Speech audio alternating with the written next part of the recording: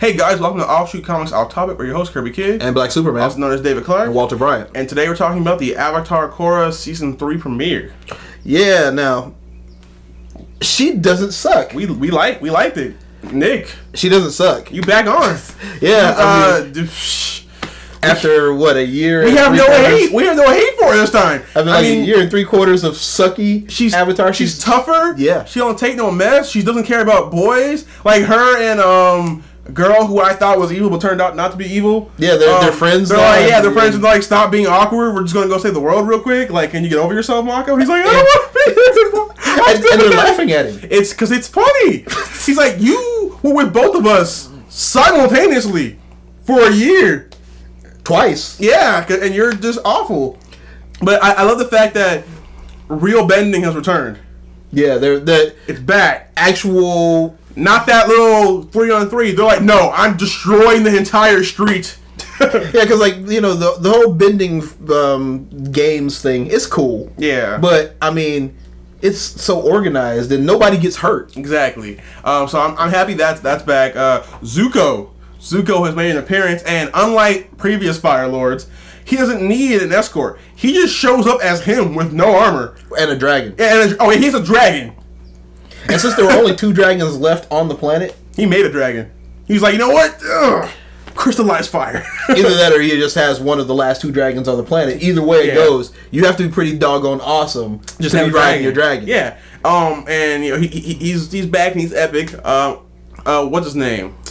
I always get his name wrong. Tenzin's brother, the one, the failure. Oh, I don't know. Um, Bumi. Bo- yeah. Bumi, because he's the National King Bumi. I know. I'm back now, Avatar fans. I'm sorry. Um, Bumi is an airbender now, along with what appears to be hundreds of other people throughout the entire nations. Yeah, like it, basically we had an X Men event. Yeah, where, um, like harmonic convergence. Yeah, activated yeah. airbending for like a whole bunch of people. And Bumi's like, I'm not a failure anymore, guys. I'm not a failure. Too bad Dad's not here to see it. Yeah, had, had Korra, you know, not lost the avatars, and could have been like, I'm so proud of you, son. But now he's just like dead. Yeah, but but no, on the on the other side of that, he's still kind of a failure because every other person who has gotten airbending has immediately had some weird mastery of it. He had to have a but, plate thrown at but see, head. but but it's okay though because unlike them, Bumi knows how to fight and has actually been through war. So he got his I, butt kicked by a thirteen no, no, year old. I, I think if it was if it was an actual fight where it was like it's you or me, uh, he would win. Because remember, he's grown his whole life fighting benders. That's true. Like real masters. That's true. I mean, his dad was like the best airbender, so I'm pretty sure he knows how to and his brother's a little bit. now the best yeah, airbender. He can. I'm sure. Like if, if he if he really wanted to kill that kid, which he wouldn't, not in front of his niece. I'm pretty sure he, he would have taken him out. His niece is gonna get into so much trouble. Yes, his niece is in. Uh, uh, she seems to be Jinora, right? Yeah. Yeah. Jinora seems to be having a crush on one of the first airbender they recruit. This this this thief kid. Kai. Um. Yeah. Who is this season's uh Jet? Pretty much, yeah. yeah. Except for the un, unlike Jet, he seems to be going to be around. Yeah, for uh, maybe we don't know. I don't know. He could die next. He, he could die uh, next episode. By the way, there, there's gonna be spoilers, so you know. You should have seen it Saturday. You should have seen it by now. Um, the Dai Li have him now, so I don't know. You never know with the Dai Li. Well, that's the, true. They're not gonna kill him though. The, la- the last time they brought a character's love interest to Ba Sing Se he was crushed by a bunch of rocks and died one, and then there's also a love interest that became the moon. It's true. Love interests don't do well unless they were introduced in the very beginning. um, but yeah, so uh, the the Earth Queen, who is a jerk, and I hate her, um, is creating an Earth or an uh, uh, air, airbending army, um, and capturing all of them and whatnot. Um, oh, side note. Okay, so before that, the Earth Queen has sent Korra to go collect her money in exchange for her you know helping with uh, finding airbenders and what happened. Mm-hmm. what happened? Well you know Korra goes into the middle of this uh, city to go collect this this uh, taxes and kicks the crap out of well pretty much an entire band of, uh, of thieves. yeah. Well at least that she thinks are thieves. But as they're driving away they're like you're on the wrong side of this. Now side note we actually said as we're watching this they should have probably pulled up and said hey avatar you know you're being used, right? Right. Yeah, just talk to her. I mean, because she didn't start out fighting. She actually exactly. just stood there and said, "We came to collect the tax." Korra has a lot of patience.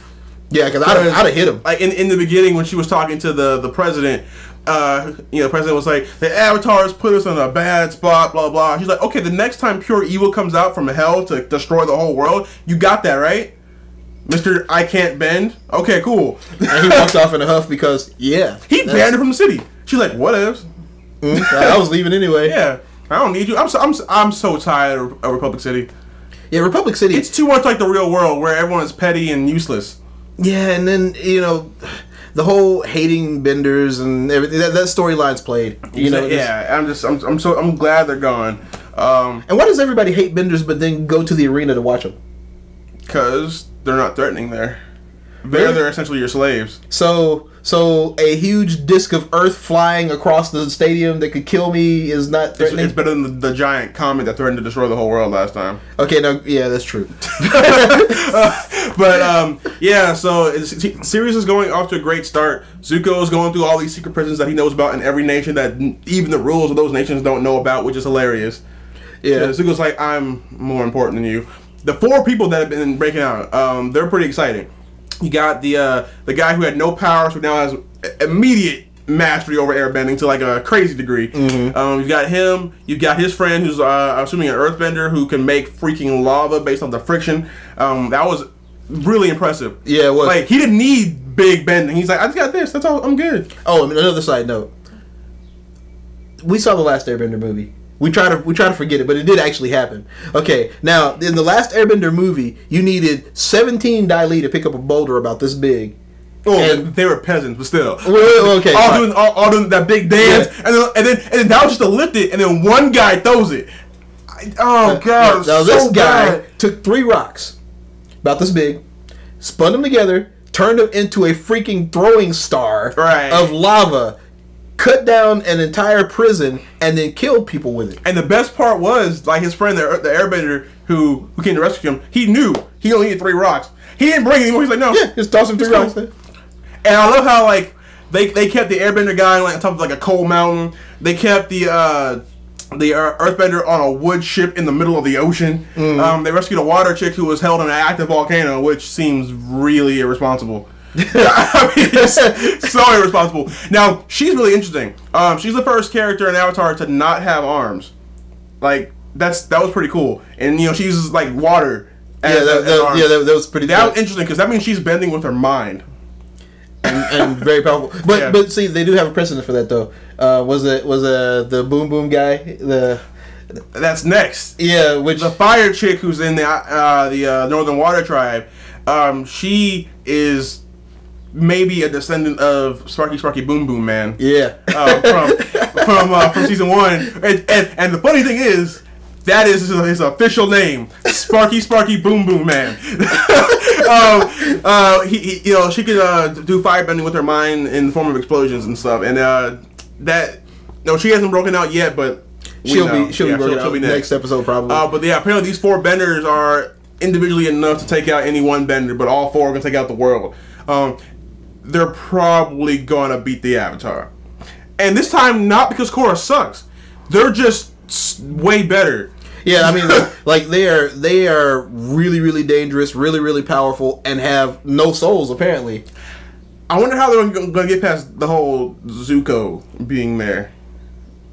Well, I mean, technically, I mean Zuko is Zuko was uh, really powerful by the end of Avatar, I guess, and mostly because He had to be. He had to be, but like he's not the most powerful bender. He's just a really good fighter. Has he ever won a fight, like a bending fight? Uh, yeah, when he fought those guys in the middle of that Earth Kingdom peasant village. Right, but usually he, he usually loses bending fights. Yeah, like but bending fights, he normally gets his. But, but, but he's a great fighter. But Yeah. he but, but he won against the that um, Admiral Zhao too. That's true. Right. But see, it, it's also been sixty years though. Yeah, And for 30 of those years, it was just him and the Avatar just like, palling around, yeah. out. Well, Little Trouble. If you read Dark Horse comics, they were not immediately friends. In fact, there's actually a point where, uh, you know, Zu- Zuko has told Aang, you know, if I become like my father, take me out, right? And there's a point where Aang has to remind him of that. Remember when you told me that? Yeah, don't make me go there. And Zuko was like, oh, oh, okay, yeah, we're gonna just let's be friends again. no, but yeah, I mean, he's had 60 years of of being in the filer. I'm pretty sure he's. I mean, even even even if he's still weak, his weakness is still better than most people's strong. Yeah, and by the way, you know, since firebending comes from dragons, and uh, he's got a dragon, Right. He's probably been trained by the dragon. Right, I mean, like, yeah. So he has he has probably mastery over the pure firebending styles, you know. Yeah, so- um, so I'm sure Zuko will put up a good fight, but then again, there's four of them, and he is old.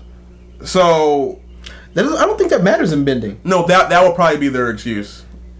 Yeah, Plot, Iroh was plot, old. plot induced stupidity. Iroh Zuko has to lose in order for the plot to continue.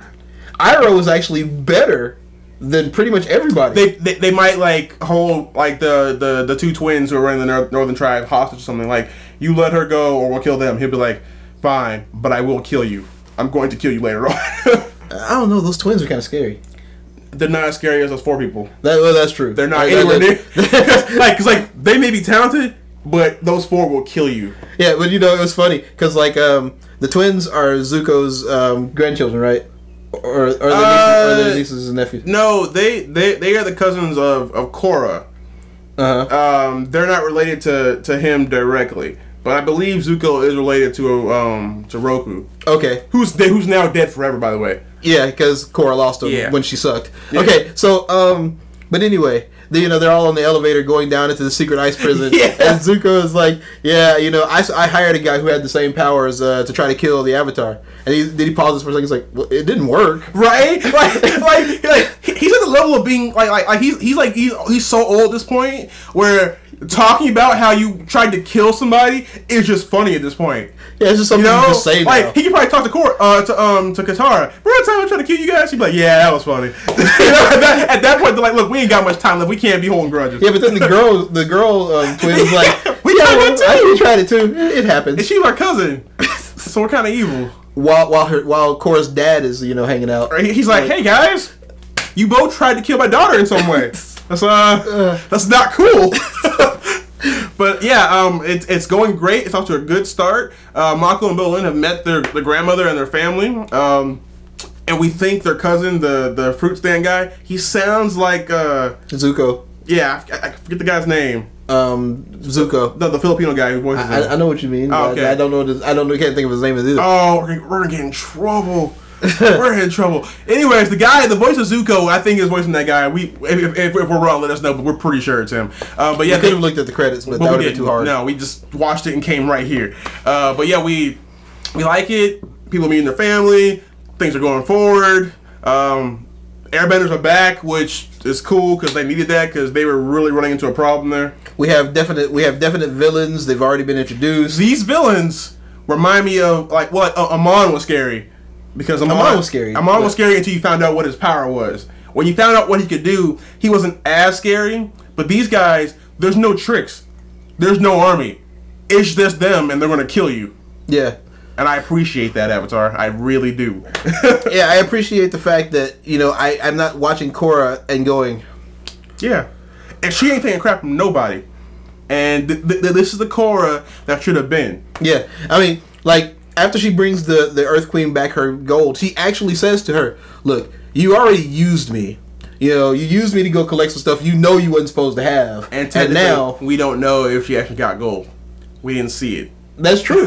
Like, she, like she may have said it. figured out that she was terrible, and she may have either either given her something fake, skip, skimmed up the top, or she may be just gonna plan on stealing it back with a steely guy. I don't even know that she actually thought she was doing the right thing when she first got there. But you know, like by the Well, time she, those guys, she might have until and then she got until she got on the ground was like, this seems wrong. yeah, like all the people are running away. Why? Yeah. And then when dude said you're on the wrong side of this, she's like, yeah, I, I think they may be right. Right. You know, so But yeah. it, it this, the season seems like it's off to a really She's smarter. start. And, Oh there's, my and- God. and there's going to be a Korra video game too, which I'm, I'm sure will be good. Um, thank you, Nick, for reviving her because I no longer have to say every second of the show this would not have happened to Kyoshi. I'm, just, I'm just saying that was I our mean, mantra the past two, Yeah, years, I two mean, years. honestly, most of the things that happened to Aang would not have happened to Kyoshi. It would have been over. In fact, they should they should, they, they- they should just make no no. I'm talking about Aang too. oh, okay. Kyoshi would have walked through the first season too. Yeah, that's really true. Yeah. They should just make Avatar the Legend of Kyoshi because she dropped a guy in the volcano. Like when she did that, I'm like, you are my favorite Avatar out of all of them. I thought Roku, the dude with the dragon, would be no, no, no, Kyoshi, the girl with the face paint. dude. She she said, I killed the conqueror. Like just like you know, like Yeah. Aang, Aang is on Aang is on Oh fire. yeah, I'll try. I killed him. Oh, yeah. Like, he's like, what did you do? like I killed Chin the conqueror. What? Oh, okay, Yeah. look, you were supposed to. No, no, No, no, I killed him. No, I killed I him. opened a hole in the ground, made a volcano, and dropped him in it.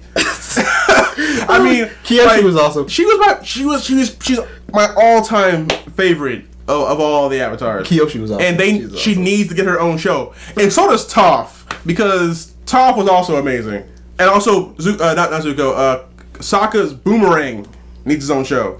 That boomerang has gone through a lot. It really has. and, and Space Sword only stick around for like Space Sword. It only stuck around for like five episodes. Dude, I was so sad when it fell. He's like, bye, Space Sword. Ah, Space oh, Sword. Space Sword was I'm sure it's around somewhere. I mean, you could cut metal with Space Sword. right? Yeah, that Dude, was, it's a Space that was Sword. a great sword. Uh, anyways, though, th- season three, it's going great. We don't hate it, and we will follow up with it with glee instead of rage for now. Yeah, so Sparky Sparky Boom Boom Chick Sparky, sparky, boom, boom. is, is we're, we're, we're looking forward to seeing Probably is she's like his daughter or granddaughter or something. So, Probably. So she should have that eye in the middle of her forehead. or or uh, I, I They didn't show her face all the way, so I from, from what I heard does. from my, my, my Avatar friends, they're saying it might be on her hands, which is more dangerous because she can just go, you Oh, know, that would be dangerous. Iron Man. Um, so yeah, that's gonna be gonna be pretty boss. Uh, I'm looking forward to it. Also, I want to see what happened to Azula because she's probably still alive. Yeah. And just animate where Zuko's mom is, please. Just do it. Just, just do it. We we're tired of waiting. It's been like 30 million years. Yeah, like everybody hasn't read the comic book, dude. Just just just have him mention it. Right. Exactly. Like I talked to my mom last week. Okay, yeah, Right, yeah. That's it. That's she all. might still be alive. Yeah. They lived to be like Bumi was like 112 or something. Yeah, So- like yeah, so But yeah, that's it for now. We actually like Avatar Korra. We were coming into this video expecting rage, but we're happy. We still may make the rage video. We may make, but rage but video. but it'll be a rage video about the last two two, seasons yeah. instead of rage video about everything up to now. so yeah, book three. It's going good. Till next Nice. time. Oh, don't forget to subscribe, like, favorite, share, all that madness. We love you guys. We do love you guys, and we want you to love us too. And you're gonna hear all that again in about Yeah. five seconds anyway. And we we have a Google Plus account now, I think. So I think we can respond to comments as us. well, the, like not. yeah, like yeah, we have we have personal Google Plus accounts. Right. Um. So Offshoot Comics won't respond to you. Walter Bryant and David Clarke will respond to you. I think. Well, Walter Bryant sure. definitely is responding. Now we're part of Channel Frederator Network. I think we have a Google Plus account, and it may be attached. I don't. You, if you see a response from us, you'll know we figured it out. um, obviously, we're not good at the whole social media thing. You could, you probably could tell that at this point. Um, but until We're next getting better, yeah, we're getting better. We're trying. Until next time, we were your host Kerbykidd. and Black Superman. See you later, guys.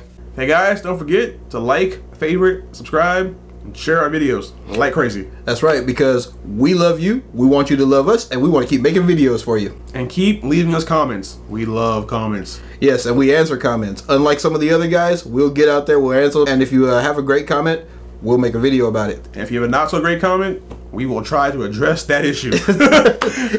but uh, thanks. Till next time, we've been your host, Kerbykidd. And Black Superman. See you later, guys.